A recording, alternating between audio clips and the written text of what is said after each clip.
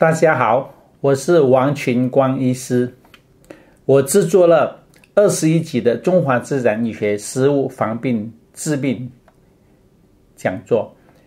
现在是第十三集，题目叫做“断糖生酮饮食是糖尿病患者的速效解方”。我们都知道，正常饮食，正常饮食就是指碳水化合物占百分之五十，脂肪占四十，蛋白质占百分之十，热量来源的这个饮食，我们叫长糖生酮饮食。什么人在吃长糖生酮饮食呢？当一个母亲，她婴儿十个月大的时候，她给她吃的这个。母乳，碳水化合物就是四十六个 percent，脂肪四十七，蛋白质占七个 percent，所以我们大人成人的这个饮食哈，也是差不多要啊接近这个比例，五十、四十跟十的这个百分比。那我们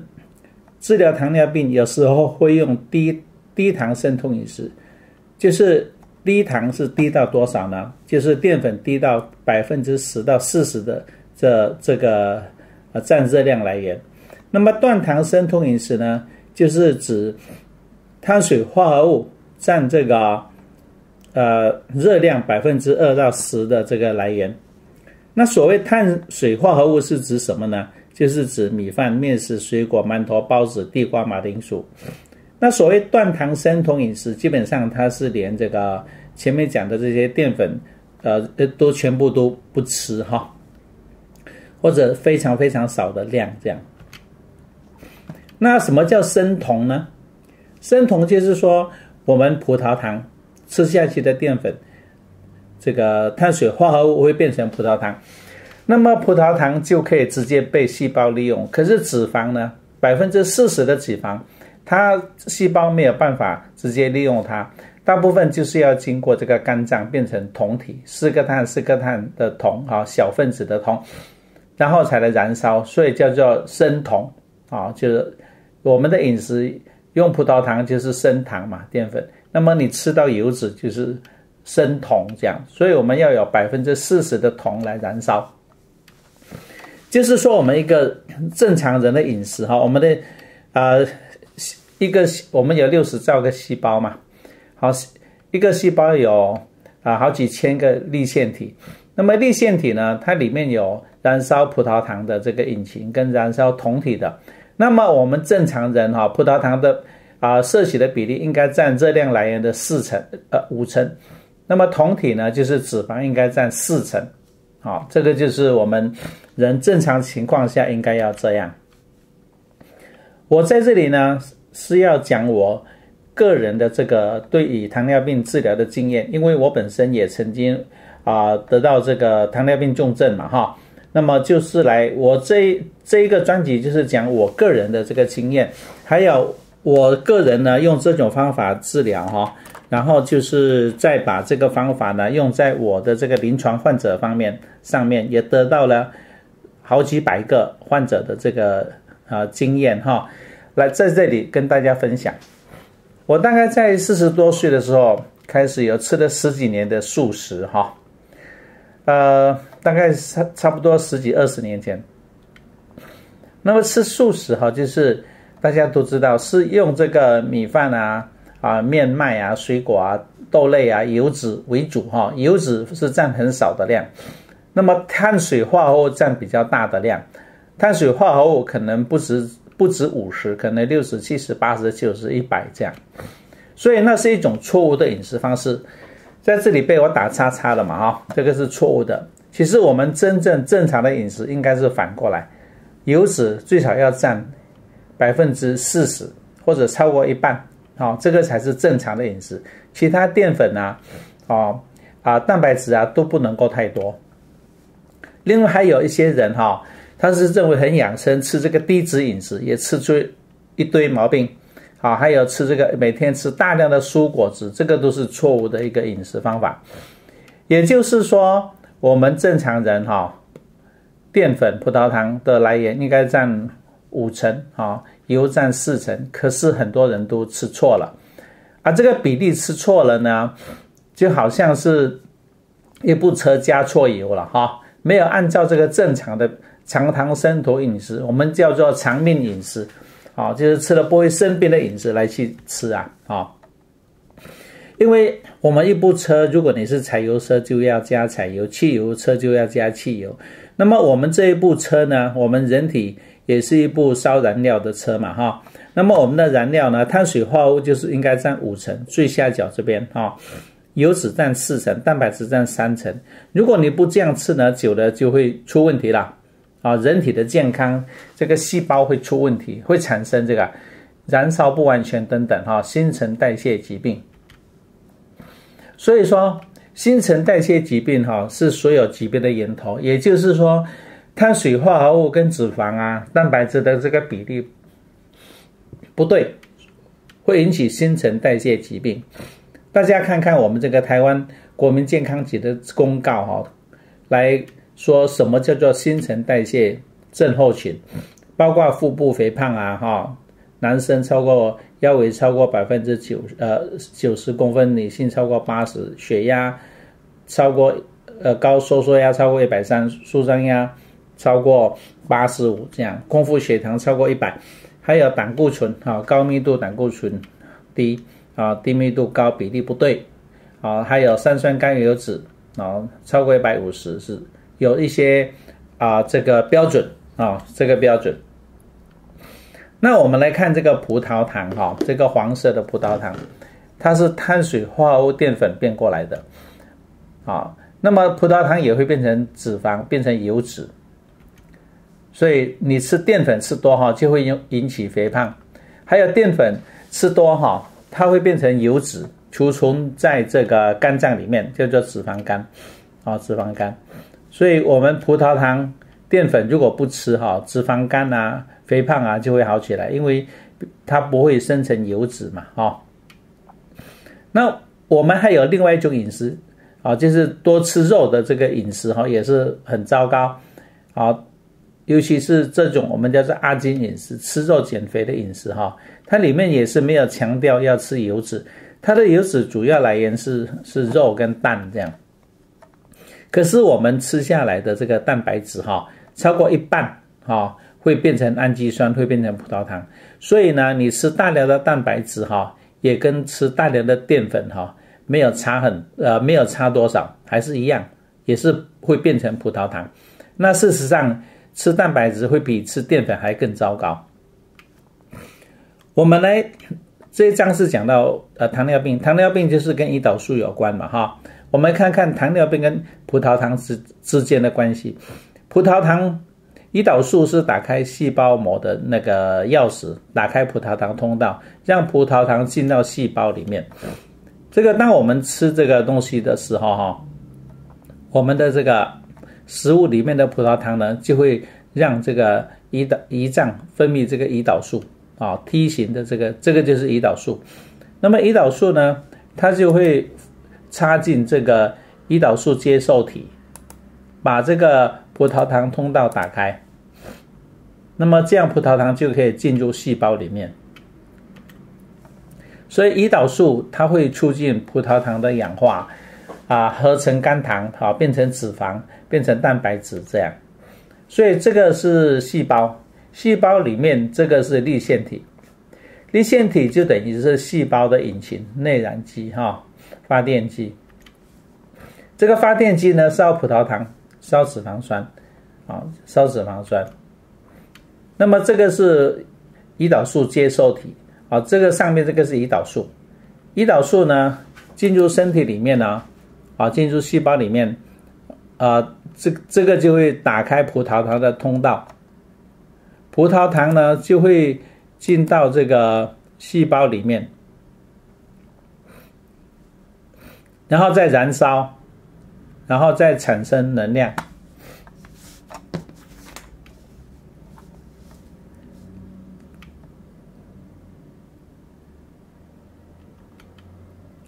所以。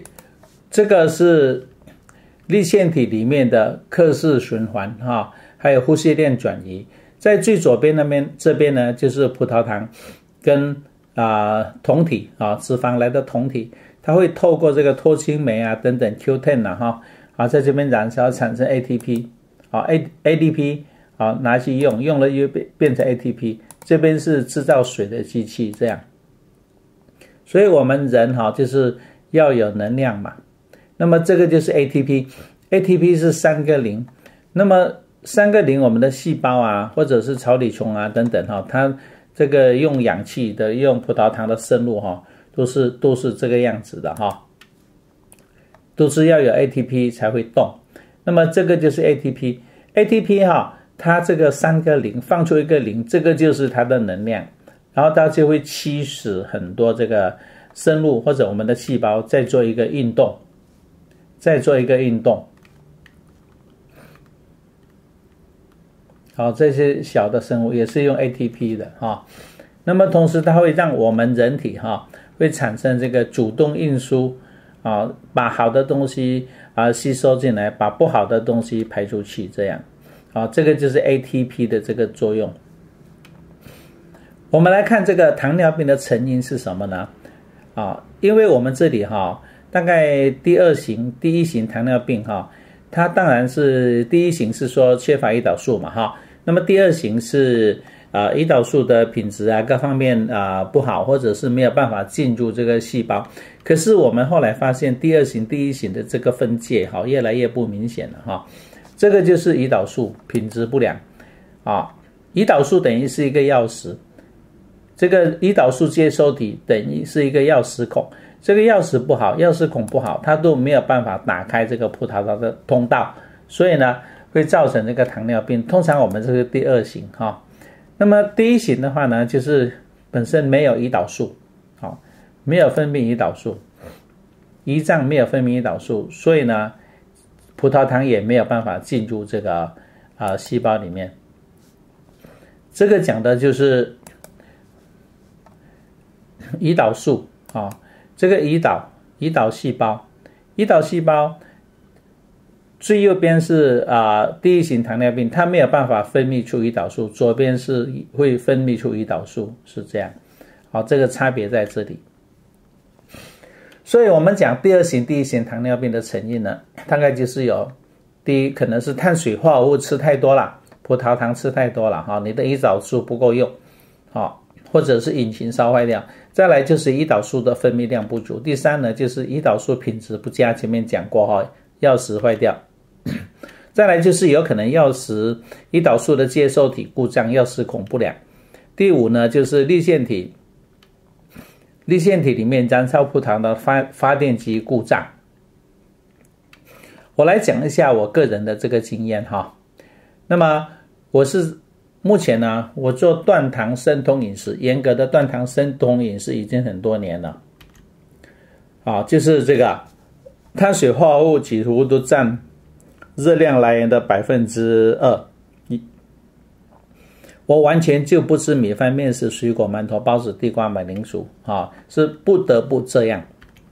因为以前呢，我就像前面讲的嘛，哈，是这个左边这个不正常的饮食啊，哈，就是。啊，这个面食吃太多，碳水化合物啊，淀粉可能吃了占热量来源的百分之七八九十一百这样，油都没有吃到，所以我那个时候吃的不是正常饮食，是要命饮食，就是低脂、高糖、高淀粉的饮食。可是呢，现在呃很不可思议的哈，我以前也是啊，这个完全不理解怎么样吃才健康。那以前，我都是叫人家说哈，三酸甘油脂过高的人要少吃油，啊，胆固醇高的人呢，哇，你赶快你要吃低脂饮食哦，哈，不可以吃到油这样。那么高密度、低密度市场呢，也要叫他吃清淡饮食，所以很多患者哈都不敢吃，不敢吃油，好叫做养生。其实哈，这个是一个绝大的错误。到了今天哈，我呃。最近还在问我很多啊，这个呃新陈代谢科啊、内科啊、啊这个护理系啊，还有啊营养师啊，问他们说，哎，以前我们观念是这样啊，我们都是专业人士嘛，我们都建议病人吃要命饮食哈。我我说现在有没有改变？他说没有啊，还是跟以前一样哦，就是生酮饮食，他们也几乎没有听过。所以说现在社会上讲生酮饮食哈，讲的很流行。可是呢，啊，我们正规的哈专真正专业的被认为专业的这些人士哈啊医护人员哈，他们好像对生酮饮食普遍是持反对的这个态度哈。我们我为什么会吃断糖生酮饮食呢？这个就是前面讲起，因为我本身可能以前都当血汗劳工嘛，哈啊，这个很忙很累很操劳，做加护病房外科、麻醉科、急诊科做了二十五年，那么后来身体出状况了，哈啊，就改做自然医学，十年了，因为我大概在五十多岁的时候呢，曾经得到的这个重症糖尿病。糖化血色素哈超过十三点五，正常是六点五。那么血糖呢？饭前五百，饭后一千以上这样，所以说非常非常的严重，几乎到了这个 HHNK 就是糖尿病昏迷的这个程度哈。我那个时候自己也知道啊，我我问我这个新陈代谢科的朋友哈，因为我是打胰岛素也也也见不到效果的这个人哈。不要说吃降血糖的药，他们都跟我说，你这个瞎眼啊、洗肾啊、截肢是应该很快就会到来了哈。那当然我是不愿意这样嘛，所以我就自己想办法啊，自己找到一个方法，就是断糖生酮饮食。今天跟大家介绍的哈，因为我本身已经没有办法吃任何淀粉了，所以也没有办法吃低糖了，只好一辈子吃断糖饮食，因为。我如果我我曾经做一个实验哈，我是没有吃淀粉的人，啊，所以我的葡萄糖通常都可以维持在这个尿里面的葡萄糖是没有啊，可是呢，如果我吃这个青菜啊，加一碗米饭，米饭不要吃到碗，吃到半碗就好，我的尿糖呢就会增加到两价啊，这个后面还会介绍，所以我是完全没有。呃，细胞燃烧葡萄糖的引擎已经完全坏掉了，那就是这样。我们这个葡萄糖的试纸嘛，哈，而这个试纸呢，正常是这样，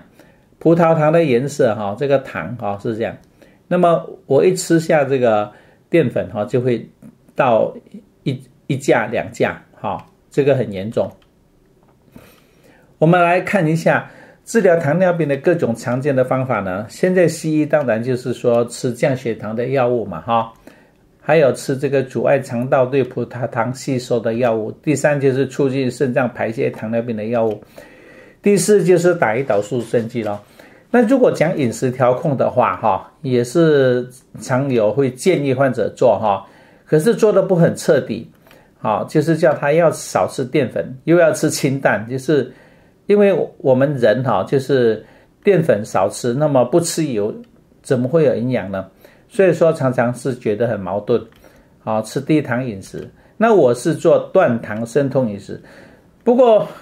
这个在现在的营养治疗糖尿病的这个医学界哈，是没有人讲断糖生酮饮食的哈，都是我们做自然医学的人才在讲。前面讲到。正常的饮食哈，热量应该占百分之四十到四十七。我们怎么样才能够吃到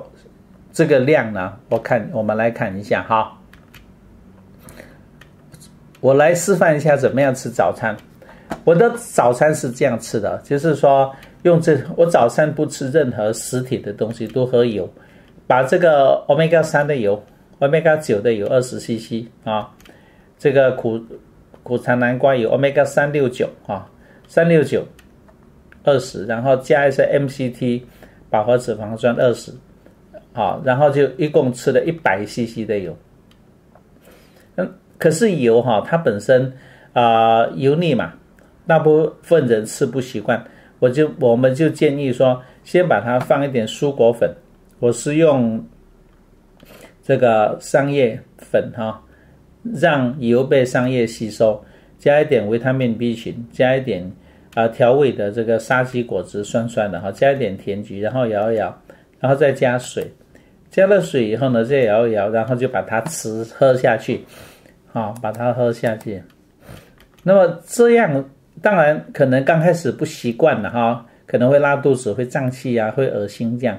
不过一段时间以后就够了。那么我一个早上哈就吃了三百六十卡的油，因为四十 CC，一 CC 会产生九卡的热量嘛哈，所以我是吃了三百六十卡。我一天呢就吃了八十 CC，一吃两次这样。那么所以油可以分可见油跟不可见油嘛？可见油就是刚才大家看得到的油哈，那不可见油就是在那个肉啊、蛋啊哈这个。这个奶里面的这个油叫不可见油。我们平均讲说，一公斤体重你可见油最少要吃到一 cc，那么可见加不可见加起来哈，可以吃到两 cc，好，这样的话才会够。我本身一天我这个可见油就吃到一百 cc 了，哇，你一定会想说，怎么会吃这么多油啊？哈，会不会心肌梗塞啊？会不会中风啊？会不会三酸甘油酯过高啊？哈，那根本你不用担心啊，完全不会，因为我一个七十公斤的人，一公斤体重要三十大卡嘛，好，那么这个一天呢，就是要两最少两千卡，两千卡的四成是多少呢？就是八百卡，那么一天八百卡的热量要来自油脂，那么要多少的油呢？就是除九。九九八十一等于一天九十公克是最最少的了。那么我吃到一百卡一百 CC 的油，那么一百 CC 油会产生九卡的热量，一九九百呃九百大卡，好被两千除一天的总需要量两千除的话等于百分之四十五。所以你看我一天可见油吃到百分之啊吃到百分之四十五，就是差不多一百 CC 的油哈。这样才有达到，啊百分之呃四十五，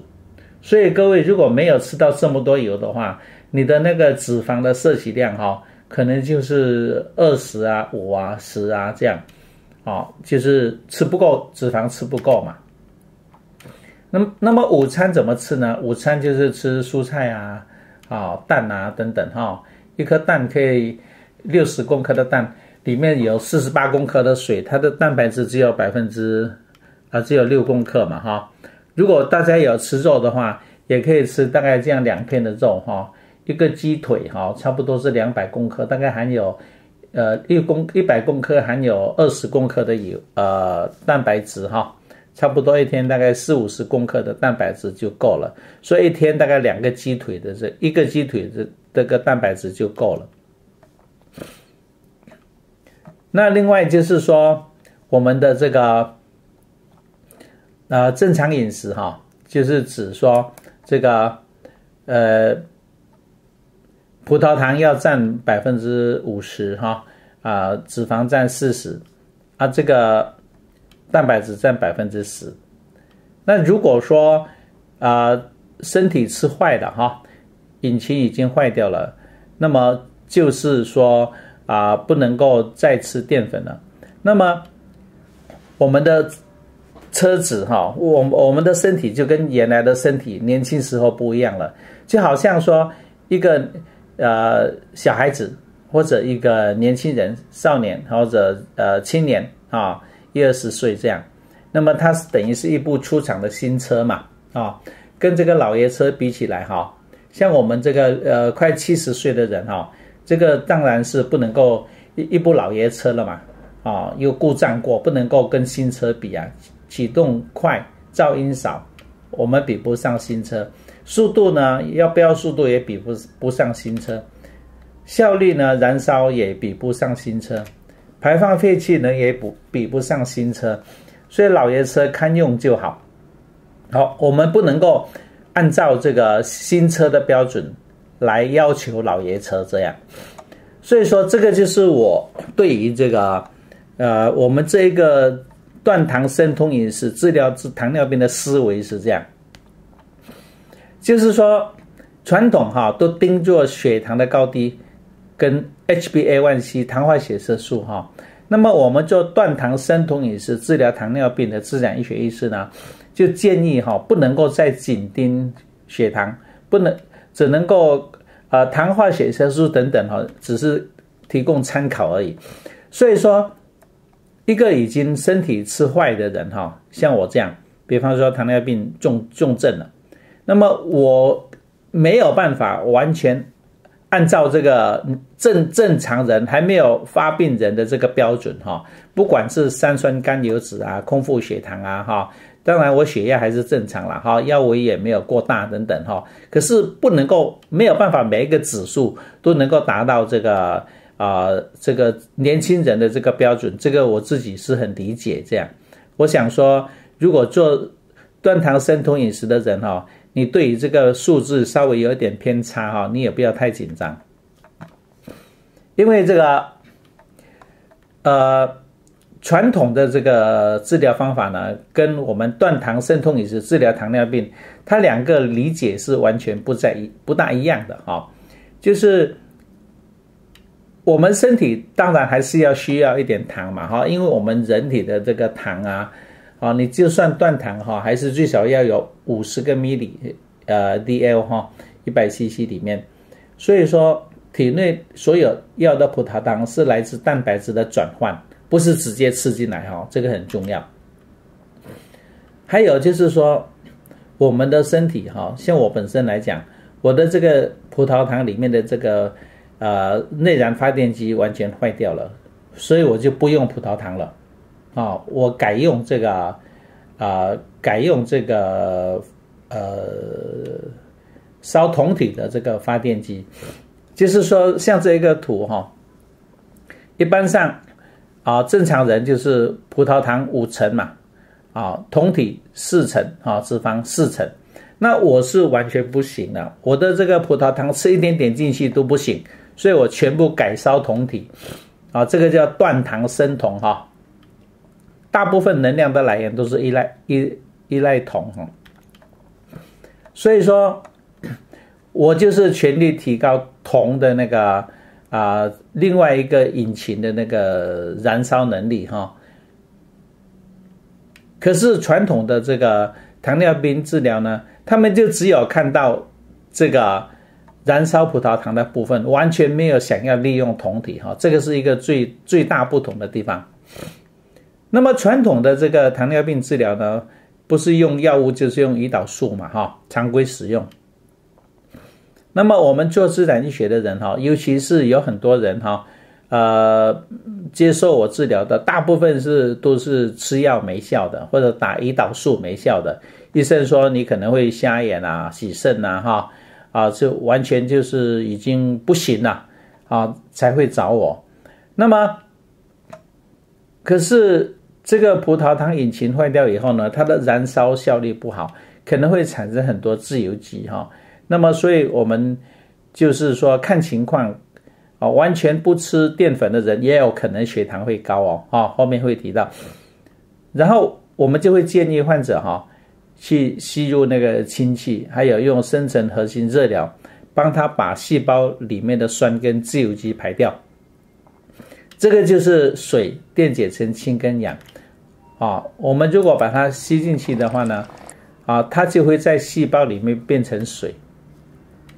变成水呢，就把这个酸排出来了。好像这个尿哈，应该要五的，这个人是酸碱值是八，pH 八，所以它就是酸排不出来嘛。那么它体验了氢以后呢，啊，酸碱值就降低了。这个自由基呢，本来是没有颜色的，变成很红，这样由一变到十，这样变成很浓很浓。像这个，我也是经常在测我的酸碱值跟自由基哈。如果尿是八的话，那么就赶快吸氢。好，大家看这个图，一直变变到五，五再吸一吸呢，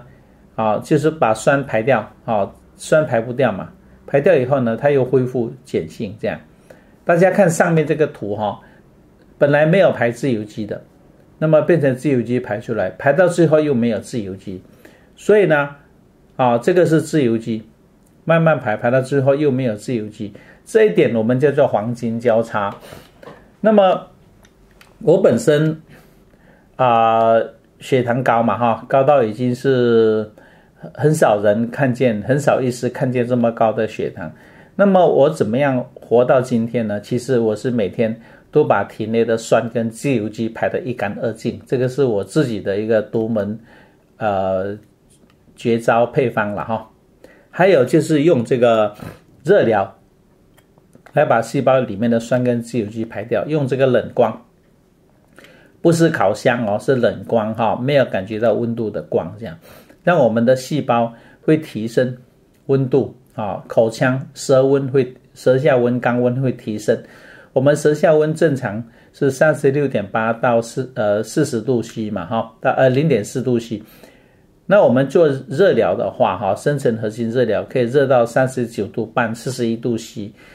因为每提升一度呢，就会提升百分之三十的免疫力嘛哈，所以热疗对我们来也很重要。就是热啊热啊，这个细胞哈会呕吐啊，把这个呃酸跟自由基排出来。这个是左右边的是汗。啊，左边也是汗，这个是正常人的汗，这个是，呃，有重大疾病人的这个汗，这个汗呢，拿来验会有很多自由基，像这个人他的尿是碱性的，酸没有排出来，啊，他自由基也很少，啊，这个就是第一个，啊，他的这个热疗后的尿哈就很红，自由基很多，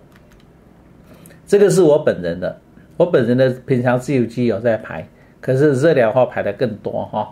好，这个是很重要的，所以我们整个中华自然医学的这个内涵哈，就是说啊，要要这个饮食哈要注意，没有病的时候呢要吃长糖生酮饮食，有了病以后要吃断糖生酮饮食，用清用这个热疗哈把酸跟自由基排掉，我们叫做百病同源，百病同疗哈。那如果药物没有效啊，胰岛素没效啊，西医只能够等并发症的发生了哈。可是我们有一个比较积极的做法，就是说断糖，利用细胞的这个呃燃烧酮体那个部分来加以强化，这样就是呃变由这个燃烧糖变成燃烧酮这样。那如果说燃烧酮还是不行的话，可以用这个酮体 BHB 来加强，就是说，啊，就就是说直接吃这个 BHB 哈，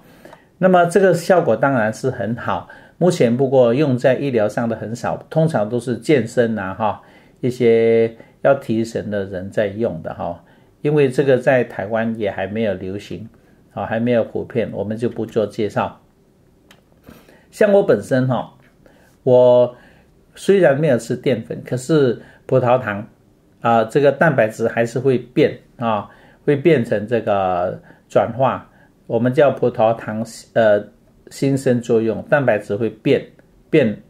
葡萄糖，所以有时候还是会有葡萄糖出来。这样，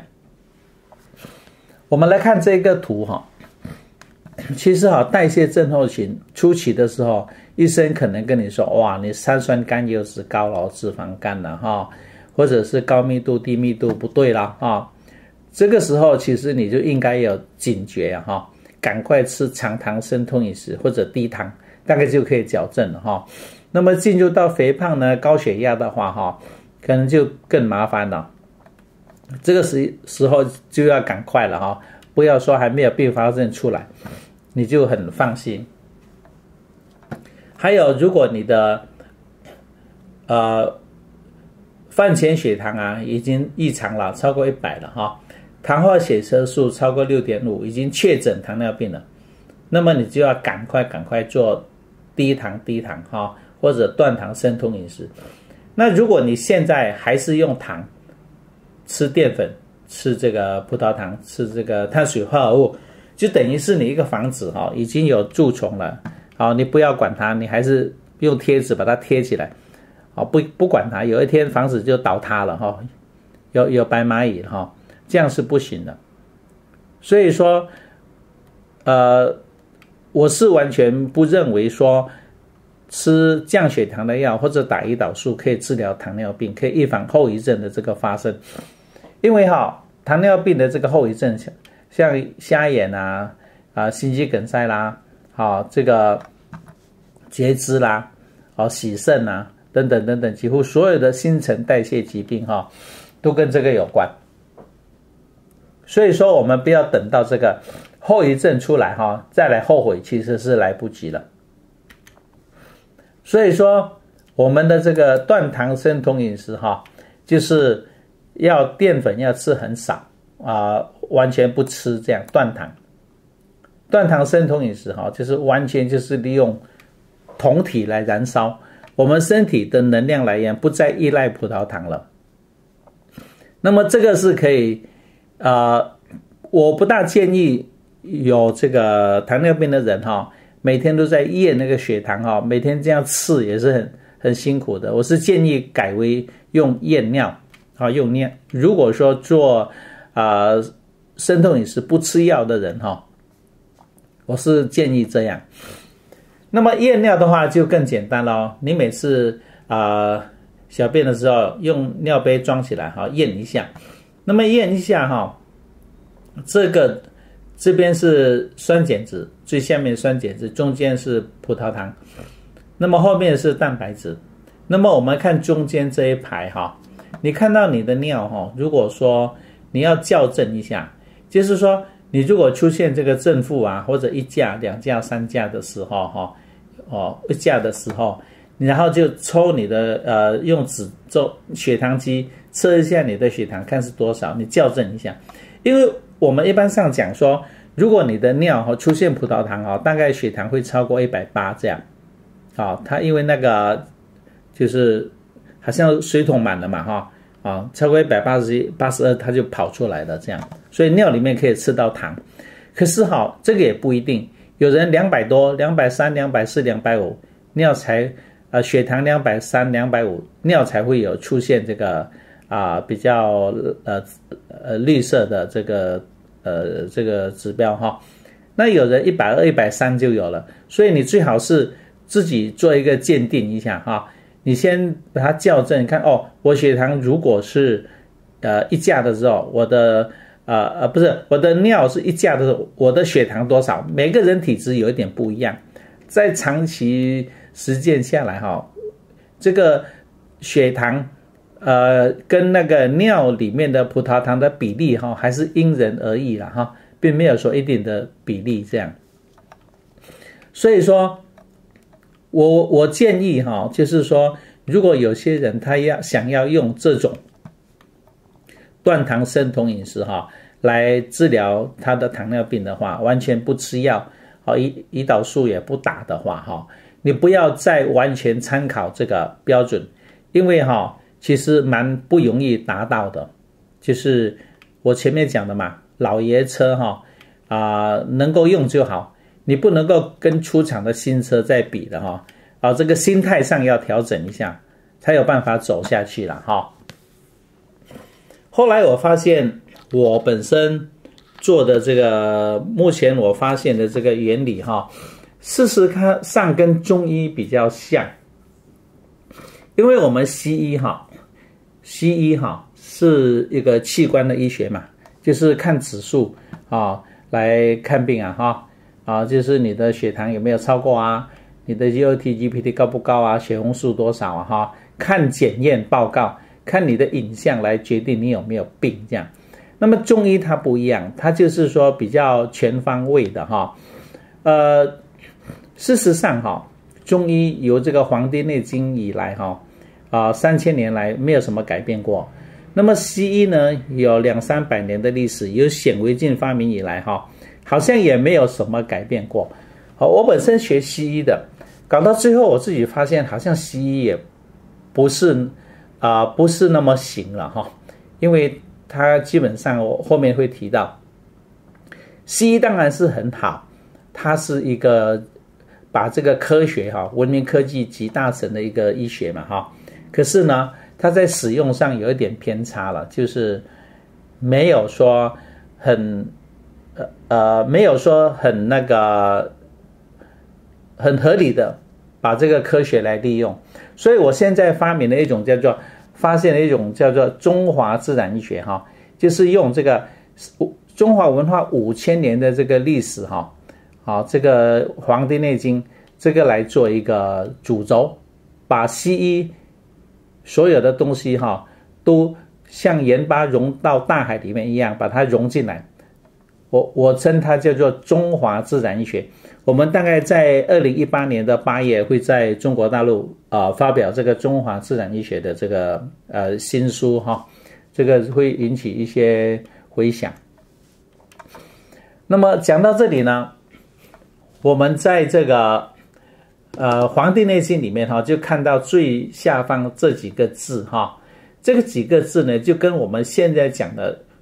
呃中华自然医学。还有我的这个长糖啊、低糖跟断糖饮食疗法一个非常接近的地方，我们把它放大来看，就是说，皇帝问说：“哎，说这个药要怎么吃呢？”哈，后来一个吉伯的人他就回答说：“病有九心，方有大小，有毒没有毒，哈，要看情况使用了，哈。如果你用大毒治病，用小毒治病都治不好啊，十七其七，其八其九。”那么谷一定要用谷菜果肉食养尽之，无使过之，伤其正也。就是说，我们平常吃的食物哈，我们讲一食同源，药食同源嘛。那么你的碳水化合物就是要占百分之五十啦，油脂占百分之四十啦，啊，热量来源的百分之四十。那么这个这个脂肪啊，蛋白质占百分之十，这个叫做呃。无使过之，伤其正也。不要偏差了哈，这样吃的话，人就不容易生病。我们叫做长命饮食了哈。这个就是很符合我们这个三千年前的老前辈讲的这个东西哈。所以呢，我治疗这个糖尿病哈，当然包括，因为主要是我本人哈，我本人本来也是跟一般的医师一样，就是开药嘛啊，胰岛素嘛啊，就是这样。那后来自己因为生病了，吃药降不下来啊，胰岛素没有效哈。后来就发现了一个这样，我现在讲的这个断糖生酮饮食这个方法哈，来治疗各种严重的这个糖尿病。所以我写的一份资料，你们是可以搜寻一下，糖尿病不必吃药，不必打针，就可以看到我写的一整篇文章。也就是说，不吃糖就没有了糖尿病哈。当然，这个还有一些例外了哈。啊，这个我们以后再来详细讲一下。我们现在要谈到这个医学哈，糖尿病这一章哈，谈到医学的定义。我们好像很多人都以为医学就是等于西医嘛啊。我想说，我以前也深信不疑了哈。可是呢，慢慢的哈啊，就是说很怀疑的。我本身也是临床西医师，干了西医三四十年哈。我现在的结论是认为说，西医学是一个伪科学，叫假的科学哈。有有了这个科学的外衣呀啊，名称跟外号哈，其实干的是不科学的事情。因为西医都见果不见因呐，啊，见果不见因。讲一些很荒谬的事情跟跟大家分享一下哈。呃，如果你有一部车，啊，车厂卖一部车给你。这个车厂的车哈，它是有呃一部这个柴柴油引擎，一部这个同体引擎，就是汽油的引擎。那么这个卖车的人给你哈，他就一直告，他就不会告诉你，你有你有这个另外一部烧汽油的引擎。啊，当你他就一直叫你加柴油，可能是故意不要告诉你，还是怎么样，不知道他的目的是什么。你这一直用葡萄糖，就吃吃吃吃到最后呢？他就啊有问题就来修嘛，葡萄糖引擎就柴油引擎一直修一直修修不好，一直修修修不好也没办法这样，就一直吃药这样。其实这个问题在哪里呢？呃，这个不是台湾的问题哈，是全世界的问题。因为哈，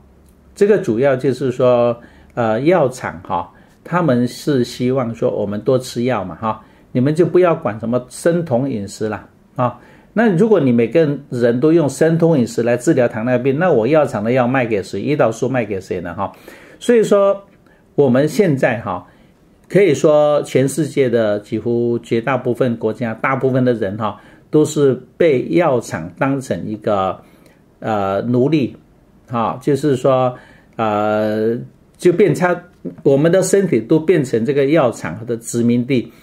他要我们吃药帮他赚钱这样。那么医师呢，其实也是很无辜的哈。我们是被训练成这个，啊完全听药厂的话，因为